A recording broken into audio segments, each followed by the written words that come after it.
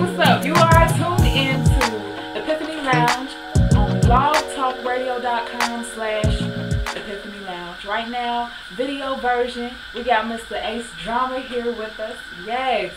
And he's about to tell us a little bit more about himself. I know you heard different worlds on the show, so we want to get a, a little bit more in depth with you, my good sir. All right. okay, well, where are you from? I'm from California. Was born in Long Beach. Grew up like L.A., Victorville. What made you come to Cincinnati? My mom's for real. Mm-hmm. Yeah, she me like a father figure, so I had to move out here with my dad. Okay. Where did the name Ace Drama come from? Well, the Ace, or the Ace part came from my homeboy and my best friend. I met out here the first year I moved out here. And he just called me Ace because he said I was good at everything. Because we used to play sports and stuff, and, like freestyle, you know, and all that. But that was when I first started rapping. And the drama, I just needed something to add to Ace because you can't just be Ace. Like, so I mean, why not? that's just playing. Ace of Spades. Okay, well, how did you get into becoming an MC? What made you want to actually pursue it? when I first decided that I could rap, it was in high school and like in assembly. And like everybody, like before the assembly started, everybody was sitting down at the table, you know what I'm saying? And everybody was like freestyling, beating on the table and shit. And then like, I heard like a bunch of dudes rapping, but what really got me is when this white dude started rapping and he snapped harder than everybody. And I was like, if the white dude could do it, I can do it. So that's when I just was like, I'm gonna try it. And I just kind of fell in love with it. Okay, well, who's your favorite musician right now? Who is it? Like you mean like artists or producing artists. Drake. That's Drake. Shoot. And nothing was the same. Like that, I'm still tripping off of that. That's it. Well, can you tell us a little bit more about the song Different Worlds? Like, where did the concept come from? The concept of the song, like, I just want to see, like, kind of put, like, two different perspectives. Mm-hmm. Because everybody's, like, different. It's like we all experience, like, the same type of stuff. But we all got, like, unique stuff that kind of makes us us. You know what I mean? It makes us unique from others. So I kind of want to put that together in the song. So even with the beat, like, the transitions is, like, different, different. You know what I mean? Switching up the styles and stuff. So, okay, if you had to choose between producing beats electronically and actually playing an instrument, which one would you choose? If you could, like, Ooh, that's a tough. Like I always want to know how to play like the piano. Like my dad's played it. Like my family plays instruments. But I think I would probably choose to do everything like on FM, just because I got more options of different types of sounds. You know what I'm saying? Like you can't just make an 808. You know what I mean? Like you need a program for that 808. okay, so out of all the songs you've created, which one is your favorite? Ooh, favorite? Yeah. Which one do you listen to the most? the most. I have to say Gary Coleman. Yeah, because the beat is just, it's kind of chill, it's constant, but I made it that way so people will focus more on the lyrics. But I love it the most because it's like the, it's like the best story I think I told. Like, you know what I'm saying? Like, only people who really, real, for real, gives the people who know the people in the story. I think anybody can kind of feel where it's coming from. Well, where can your music be found?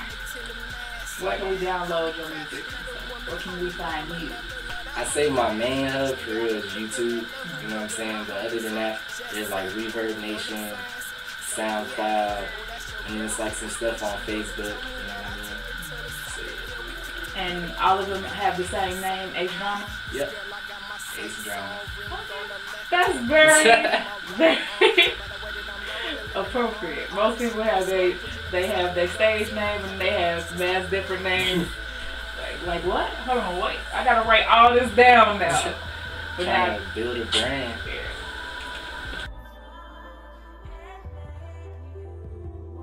so how many albums do you actually have put together? Zero. Zero. Zero albums. I mean, like mixtape wise, I've been releasing singles Mm-hmm. because it seems like that's what really gets the buzz going for me.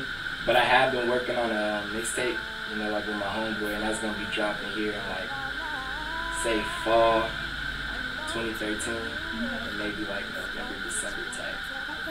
What's gonna be the name? Y'all have y'all come in with? The concept is kind of like we wanted to have it something to do with three. You know what I'm saying? Like three, just because of the way that it's set up. It's a few songs that start with three. Like one's called Three C. I mean, it's like cool, calm, and collected. So we've been trying to incorporate that three. Okay then. So trio, the chair. Okay. What are your hobbies? What do you like to do besides music? Besides music, Yeah. hmm, I like to, I like to chill. like for real, I like to chill out with my homeboys and just do random stuff. You know what I'm saying? Like, Okay, so what's random stuff? I mean, Be specific. anything out of the ordinary. Like we ordinarily go to the hookah bar, you know what I'm saying? We ordinarily go bowling. So out of the ordinary, paintballing, Yeah. go karting, bridge jumping, you know, whatever. Alright. So, have you ever had a mentor? Yeah. Okay. What valuable lessons have they taught you? What you? It's really just life lessons, like stuff you gotta know pretty much to make it to where you wanna make it in this world. You know what I'm saying? Like simple stuff like pretty much view things as as they are. You know what I'm saying? Like little lessons like that. So, what specific lesson has taught and touched you the most? What do you in? What I'm on right now is really just understanding people. It just seems like what I notice is people really just out to help themselves. You know what I'm saying? So it's kind of like finding the truth in their words. You know what I mean? Because they really out to help themselves. Like they screw you to get to where they're trying to. They're trying to learn how to play the. What are your goals for the future? Where do you see yourself being in five? Balling. Like, man, I want that challenger. You know what I'm saying? I want I want to work with major producers. I want to be in there with Pharrell and Kanye and Cardo and Sledgren. And I can keep going, Clams Casino. Like I really want to work with these people. I want to make a beat. You know, like for even like local artists. Like, I really want Lantana to be on one of my beats. Like I feel like that'll be some Cincinnati right there. That's that's what I really want. Well, okay, who is one of your favorite artists that you've done a collaboration with? Who do you want to continuously work with? If you have the opportunity. Sugar Renee. Hey! nah, but besides me, like, who would you, like, rapping wise, who was actually graced your mic and you felt like, man, we gotta just keep going, keep pushing? Like a rapper. Yeah. I'd probably say my homeboy Cam. That's the one who I'm working on this mixtape with right now. And yeah, like he really does his thing and we just click on so many levels. Like it just flows when we in here. Do you ever go off of a specific topic when you're rapping, or? Yeah, there's always like a topic for the song. You know what I'm saying? Like when it comes to the process of making a song, I mean the beat's gonna go where the beat goes, but then once we kinda get the feel for the beat, we get the concept and that's how we stick to the you ever make a beat for the words that you're writing? Yeah. I've done that. It usually turns out better the other way around. You know saying? But, yeah, I've done that. So, what are your usual motivations and inspirations for writing music that you write? I say just life. It's really just putting my experiences, you know what I mean, into some sort of melodic, rhythmic pattern. you know, if people can just do this, you know what I mean, do that with it. So. Okay, well, okay, well, would you rather have people dance to your music, or would you rather have them just chilling out, listening to the words that you say? I say I appreciate people dancing, but just the type of person I am, like I dance a little, but for real, when I listen to music, like I'm really listening to like everything. So I'm the type of guy who I'll hop in my car and turn my music up and just be rolling through the city chilling. So I think my music targets those type of people Well, if you were to give advice to young people coming into the music field, what kind of foundations would you actually teach them for coming into? First off, start young. Mm-hmm. Like the younger you start, the better you're gonna get. Like by this age that I am now. Mm-hmm. You know what I'm saying? And just practice, practice, practice. Like you gotta really beat down on your craft because there's a difference between like talent and work ethic, and I believe that work ethic will get you further than talent.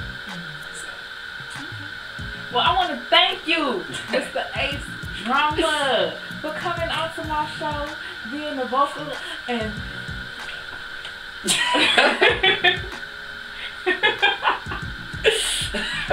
that was an outtake.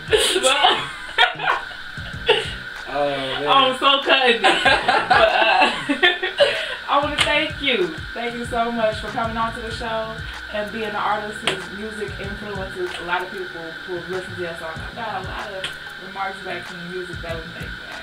That's what's. We awesome, man.